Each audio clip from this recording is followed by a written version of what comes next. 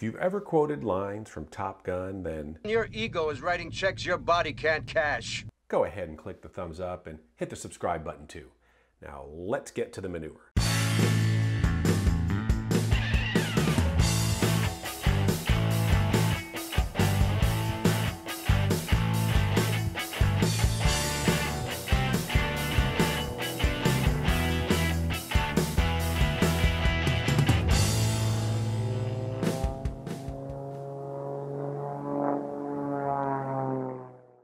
Many people call that the double hammerhead.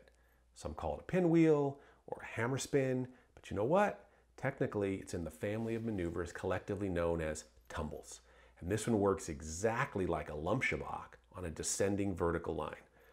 Before I can walk you through my helmet cam video and show you how the double hammerhead is flown, you need to know a few things about Science! the double hammerhead, like all tumbles, works because there's a big heavy gyroscope spinning on the front of the plane that looks like a propeller. Normally that propeller is happy to spin fast and make lots of thrust. So if you keep the airplane straight and level, it all moves along at high speed.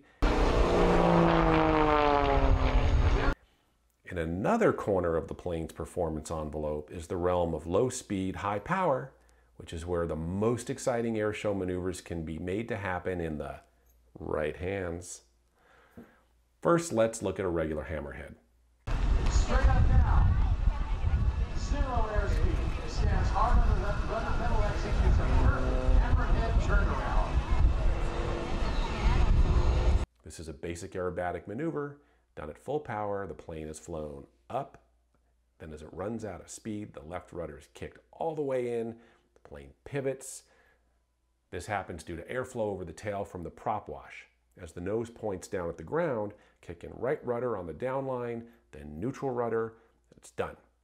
You cannot make the plane pivot through another rotation by simply holding in the left rudder. If you tried, the nose would go a little past straight down, then you would be flying towards the ground with a lot of left yaw like this. What makes the double hammerhead happen is the pilot taking advantage of gyroscopic precession to make the second pivot occur. If you don't know what gyroscopic precession is, you're not alone. Most pilots don't understand it either, which is why I made this video. The two basic properties of gyroscopes are rigidity and precession. Rigidity in space is the primary trait of a spinning rotor, which is really inertia. Newton's first law says a body in motion tends to move in a constant speed and direction unless acted upon by an external force. If you've ever spun a coin on a table, then you've seen gyroscopic rigidity. Coin spins on its edge until friction against the table makes it slow down enough to fall over. Friction is the external force. Precession is a bit more complicated. It's the tilting of the rotor axis as a result of external forces. When a force is applied to the edge of a spinning rotor, the force causes the rotor to move 90 degrees ahead in the direction of rotation. Helicopter pilots know all about this. Most airplanes, including my Pitts, have a propeller that spins clockwise when you look at it from the cockpit. If I push the stick forward and make the nose go down, it also moves left because the result of the force happens 90 degrees ahead of the direction of the prop's rotation. I can prove it.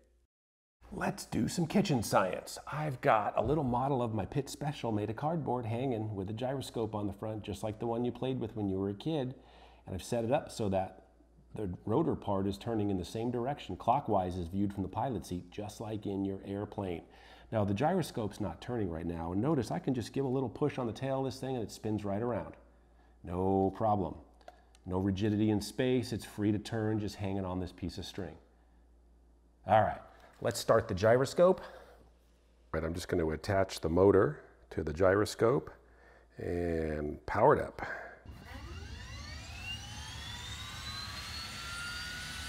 Can you hear that? Kind of sounds like a jet engine coming up to speed, doesn't it? The gyroscope's running, and let's check for gyroscopic rigidity in space. So notice I can push on it. The airplane doesn't really want to move. Look at that, I'm pushing on the tail. Doesn't want to change direction. I'm going to pretend I'm pushing stick forward, elevator goes down. See that nose move to the left? Now what happens if I pull stick back, elevator goes up? Nose moves to the right. Now what about left rudder? Notice the nose goes up. What about right rudder? Nose, nose goes down. Next, we're going to look at the double hammerhead from my helmet cam in normal speed, just like I see it at an air show. Then we'll go through it in slow motion as I talk through it step by step. This is not flight instruction. It's just information to help you understand what's going on inside the cockpit while I fly maneuvers in an actual air show.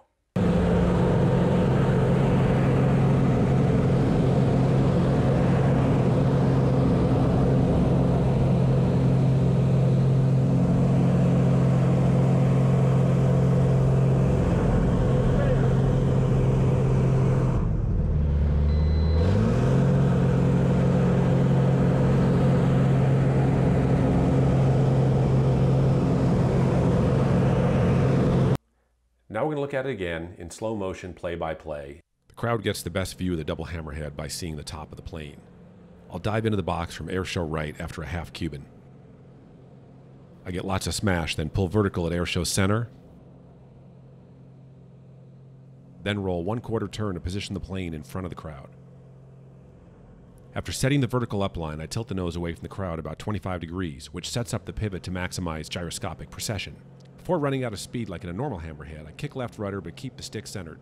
As the nose rotates down about 45 degrees in vertical, I pull the stick back a bit, then slam it forward. This moves the nose towards the wheels, which makes the gyroscopic precession occur that carries the nose around in another rotation. As the nose completes the second rotation and points at the ground, kicking right rudder stops it on the down line. Then after building some speed, I do another quarter roll, then recovery to level flight and on to the next maneuver. That wraps up our discussion of the double hammerhead. Hope you enjoyed it. It's a fun maneuver. If you like the video, please leave your feedback in the comment section below. Until next time, fly safe.